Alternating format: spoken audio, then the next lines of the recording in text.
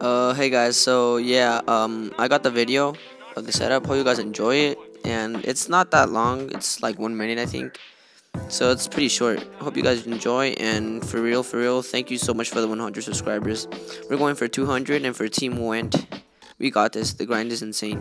Love you guys all, and hope you guys enjoyed the video. Bye. Hey guys, how you doing? It's your boy Raz Review. So yeah, here's the setup video for 100 subscribers, and I just want to thank everyone. So yeah, let's do it. So yeah, this is my room. I just have a bed over there, my bed, more bed. I play guitar too. Just have random chill.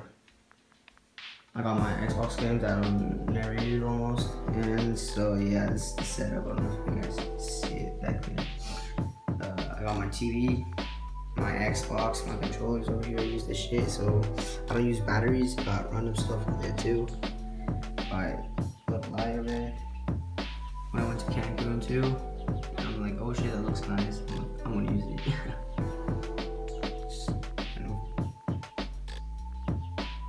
So yeah, guys, it's my normal setup.